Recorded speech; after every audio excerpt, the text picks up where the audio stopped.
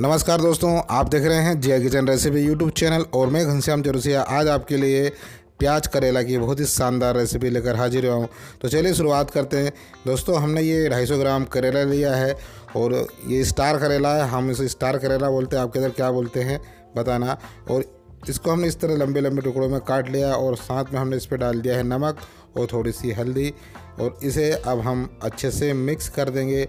इससे ये होगा कि ये मिक्स करने के बाद इसे हम 15-20 मिनट के रख देंगे, जिससे ये इस पर जो कड़वापन है पानी है, ये रिलीज़ कर देगा तो ये थोड़ा कड़वा ज़्यादा नहीं लगेगा। तो चलिए अब अच्छे से इसे मिक्स कर देते हैं। ये मिक्स हो चुका है और अब हम इसे ढक देते हैं और 15-20 मिनट या आपके पास जितना ज़्यादा देर तक आप इसे ढक कर रखोगे, बहुत अच्छा रहेगा। तो चलिए आपको दिखाते हैं कैसे रिलीज़ होता है। इसमें पानी, ये आपको दिख रहा होगा, ये जो पानी रिलीज़ हो रहा है ना, ये पानी छोड़ना शुरू कर दिया है। तो ये जितनी ज़्यादा देर रखो उतना पानी ज़्यादा निकलेगा। और फिर इसके बाद आप इसे पानी निकाल दें और फिर इसे आपको तलना है। तो चलिए, मैंने एक कढ़ाई ले ली है और इसमें डाल दिया सरसों का तेल।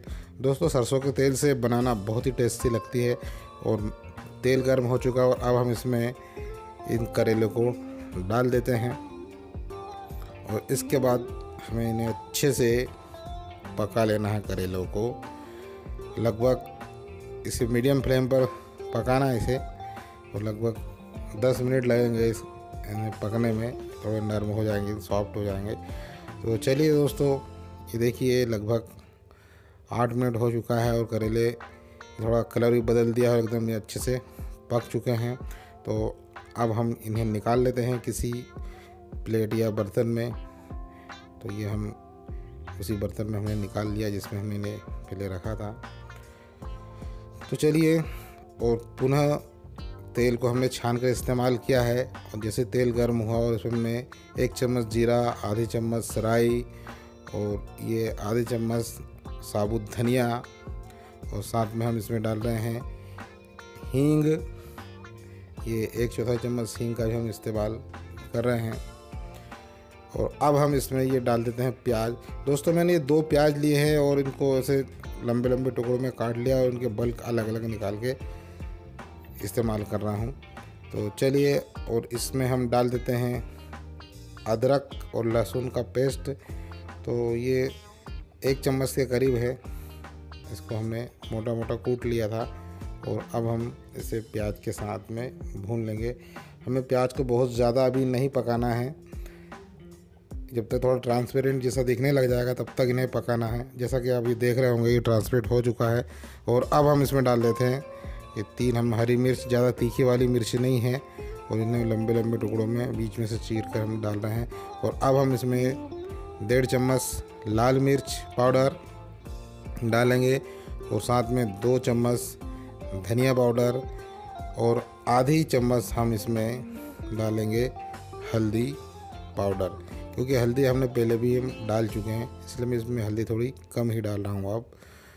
तो आप इसे थोड़ी देर अच्छे से भून लीजिए और चाहें तो अगर ये नीचे जलने लग जाए तो थोड़ा सा पानी डाल दीजिए। और अब हम इसमें डाल रहे हैं, ये सोफ पाउडर है, लगभग एक चम्मच सोप का पाउडर हमने बना के डाला है। दोस्तों, क्योंकि करेला कड़वा होता है और इसके कड़वाहट को बैलेंस करने के लिए हम सोप का इस्तेमाल कर रहे हैं। और ये फ्राई किया हुआ जो करेला भी आप इसमें हम डाल देते हैं और आप इसे पाँच से छः मिनट और इसे मीडियम फ्लेम पर इसे पकाते रहेंगे। और दोस्तों, बहुत ही शानदार फ्लेवर आएगा। ये सोप का फ्लेवर एकदम करेलों में चला जाएगा तो ज़्यादा कड़वा नहीं लगेगा। और प्याज की मिठास तो चलिए आप इस तरह से इसे ढक कर पकाते रहिएगा। और ये देखिए प्याज, करेला बहुत अच्छे से पक चुका है। क्योंकि करेला तो हमने पहले ही पका लिया था, प्याज ही बहुत अच्छा पक चुका है। और अंत में हम इसमें डाल रहे हैं दोस्तों, ये अमचूर पाउडर है घर का बना हुआ है। आपको लग रहा होगा कि काले कलर का क्यों है, क्योंकि जो आम था, वो बारिश के बाद तो कलर बदल जाता है, उसके बाद हमने इसे बनाया। तो थोड़ा सा काला दिख रहा है आपको। और लेकिन टेस्टी बहुत है ये।